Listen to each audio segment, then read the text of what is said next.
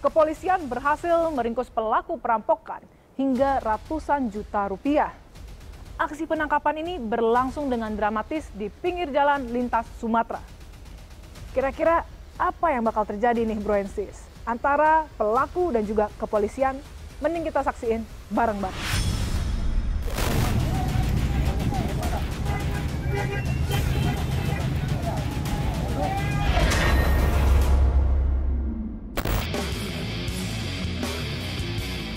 Adanya informasi dari pihak kepolisian Aceh terkait kawanan perampok yang melarikan diri melintasi jalan lintas Sumatera Kabupaten Batu Barat. Tim gabungan Polsek 50 dan Polres Batu Barat langsung merespon dengan merancang lakukan penyergapan. Sebelum melakukan penyergapan, Kasat Reskrim Polres Batu Barat, AKP John Tarigan terlebih dulu berikan pengarahan. Pagi rekan-rekan. Ya, kita mendapat info ya dari Polda Aceh bahwa ada tersangka 365 yang diperkirakan akan melintas di wilayah kita. Silakan Pak Kanit, pimpin anggota. Jangan lama lagi karena waktu diperkirakan sudah mendekati wilayah kita. Langsung dicegat sesuai dengan target yang sudah saya sampaikan tadi. Keselamatan yang utama, ya keselamatan dan dalam bertugas sesuai dengan prosedur OP yang ada. Terima kasih saja. Langsung tidak usah berlama-lama, langsung menuju TKP. Siap, berat. Balik keras, gerak.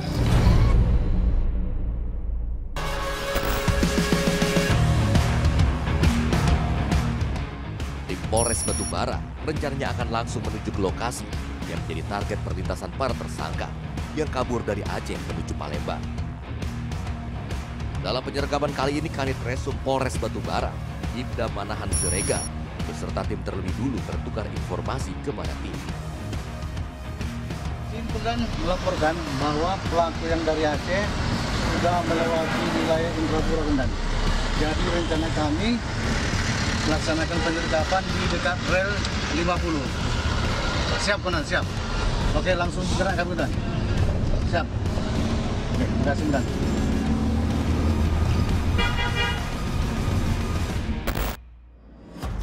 Tim terus berkoordinasi dengan tim di lapangan khususnya tim Intai terkait posisi bergesernya para tersangka.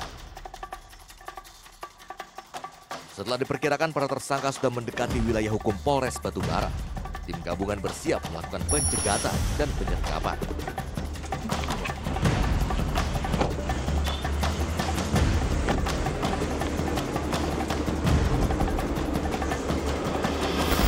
Sesampainya di lokasi yang menjadi target penyergapan, Gabungan pun melakukan pemantauan terhadap kendaraan yang melintas. Satu persatu kendaraan yang melintas terus dipantau para petugas. Porsi 50, nanti rekan-rekan cari posisi masing-masing. Karena posisi yang kita curiga ini sudah mendekat ke kita.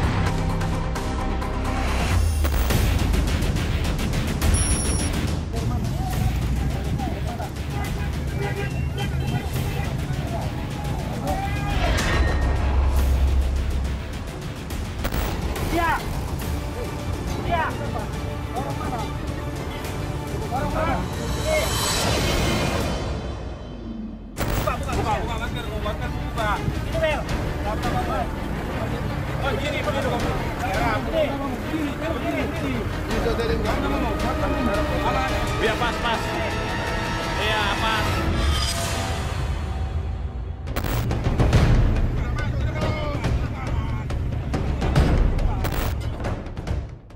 Petugas langsung membawa mereka ke Polres Batubara.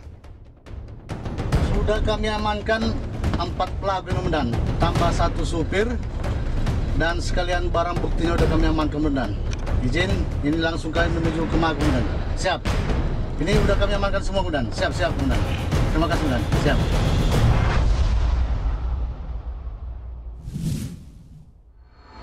Ya, penangkapan terhadap pelaku tindak pidana pencurian, pencurian uang sekitar ratusan juta. Ya, hal ini kita lakukan penangkapan dengan mengirimkan ciri-ciri ciri-ciri pelaku kepada kita dan kita lakukan penangkapan di sekitar rel ya rel diamankan kalau menurut keterangan mereka sementara ada empat ya empat pelaku yang dari Aceh empat berikut sopir mobil rental satu orang yang mereka rental dari Medan untuk berangkat ke kembali ke Palembang. Untuk pemeriksaan lebih lanjut, para tersangka diserahkan ke Polda Aceh beserta barang bukti yang berhasil disita.